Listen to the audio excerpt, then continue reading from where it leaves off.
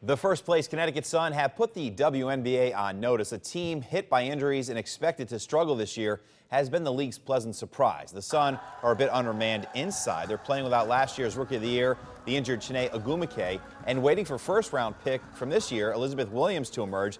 In that time, Kelsey Bone has made her presence felt. The third year center from Texas A&M has more than doubled her output from her rookie year. Her 15 points per game are second best on the team.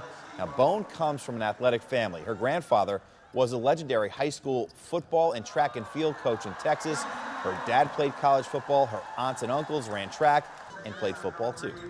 Attribute a lot of it. Um, you know, I was the one who said I didn't want to play an outdoor outdoor sport. Okay. So, um, you know, they found something else for me to do, and you know, it's just a it's a tradition in our family. Everybody plays sports, and we're all pretty good at it. So I couldn't be the one that that dropped the ball on that. Now she's doing just fine. Her godfather is also former NBA star Antonio Davis. Now last night, yeah, she's, that's right. He was pretty good. Last night, though, she was a bad girl. She threw an elbow in the fourth quarter and is suspended now for tomorrow night's game.